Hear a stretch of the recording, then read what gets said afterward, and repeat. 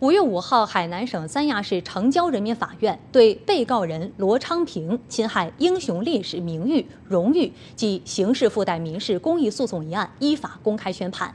判处被告人罗昌平有期徒刑七个月，并承担在新浪网、法制日报和解放军报上公开赔礼道歉等民事责任。二零二一年十月六号，被告人罗昌平为博取关注，使用新浪微博账号“罗昌平”发布帖文，侮辱在抗美援朝长津湖战役中牺牲的中国人民志愿军冰雕连英烈，侵害英雄烈士的名誉荣誉，引发公众强烈愤慨，造成恶劣社会影响。